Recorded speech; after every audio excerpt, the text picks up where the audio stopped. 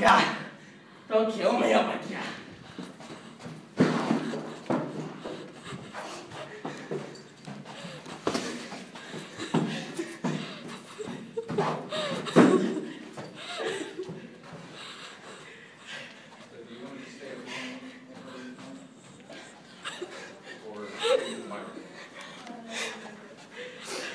I don't know if you have a choice, but what do you want to do? You need to make up your mind.